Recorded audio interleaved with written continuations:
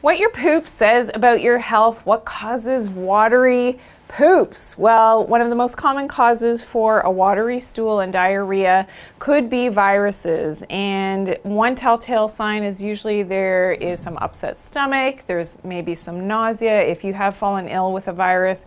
And this is quite common to have that watery poop. Now, other organisms can cause this problem as well. So, most common parasites, and of course, depending on the type of parasite that you may have picked up, there is a different waiting period between between having that exposure and having that watery diarrhea. So one of the most common travel diarrhea types of parasites is called cyclospora.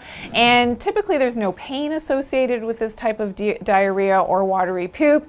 And it, there's usually about a 10 to 14 day incubation period between actually having the exposure and having that watery diarrhea. Now this can come and go and that's why I'm a big proponent if you are getting getting rid of parasites, doing a parasite cleanse, and of course doing it naturally. I've got other videos on how to do that, that you are doing it in a phase cycle way. So you're actually taking the parasite cleanse for a period of time, then you're going to take a break because these bugs have this incubation period and they can sort of replicate again through their life cycle that you want to sort of kill them off in stages. So I've got other videos on how to do that. If you do have questions, make sure you drop them in the comments comment section below. Another common parasite, which you may pick up when you travel, but you can pick it up wherever you are in the world as well is called crypto. Oh, it's not Bitcoin, uh, but this is cryptosporidiosis and it causes fever as well as nausea.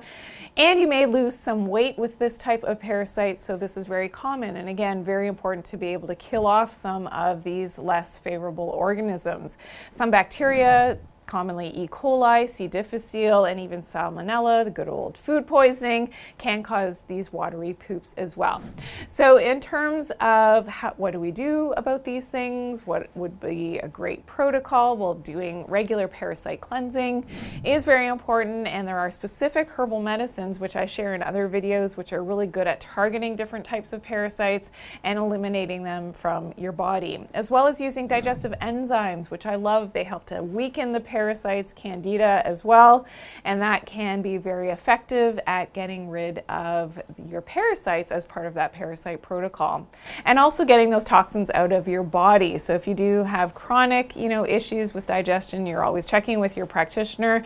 At the same time, it's a good idea to do a full body detox at least a few times a year, along with that parasite cleanse to get rid of, you know, all of those toxins associated with those parasites and those less favorable favorable bugs in your system as well. So today I talked all about what your poop says about your health, what causes a watery poop. I hope you've got some questions or comments for me. Please drop it in the comment section below. Be sure to share this video as well and give me a big thumbs up. If you're new to my channel, welcome in. I hope that you'll subscribe and click that bell. Everyone has a calling in life, and one of mine is to educate you how to live your life in tune and in line with nature. Thanks for watching.